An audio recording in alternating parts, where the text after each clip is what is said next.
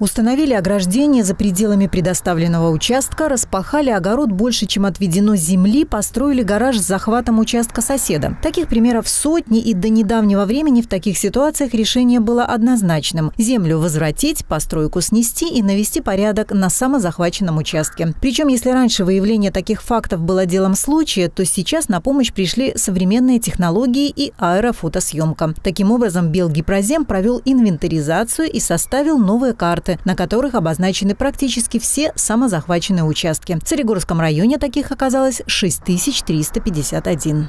Что касается 6351 участка, которые были отрисованы по легализации, каждому на адрес участка, либо на адрес проживания землепользователя, если такой адрес у нас имелся, выслано уведомление.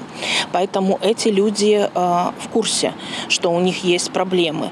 Согласно уведомлению, им предложено два варианта. Либо определиться до 1 сентября 2025 года и податься на легализацию этого участка, либо, э, если они решат, что им проще, допустим, войти в границы ранее предоставленных и ничего не, не менять, соответственно, им просто нужно освободить самовольно занятую часть, то, что они там превысили. Для легализации необходимо соблюдение ряда условий. Капитальное строение или целевое назначение земельного участка должны соответствовать градостроительным регламентам, строительным нормам и правилам. Соответствующие заключения выдадут в отделе архитектуры и строительства райисполкома. Амнистия может быть применена при наличии согласия смежных землепользователей, а также если самовольное строительство и, следовательно, нарушение земельного законодательства имели место до 1 сентября 2022 года.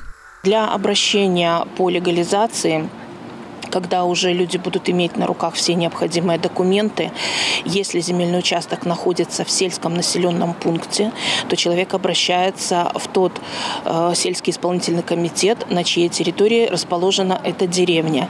Если участок расположен в городе, в городском поселке, либо в агрогородках, тогда эти люди обращаются в управление землеустройства райисполкома, поскольку согласно закона в данном случае принимать решение э, относится, принятие решения относится к компетенции рай исполкома.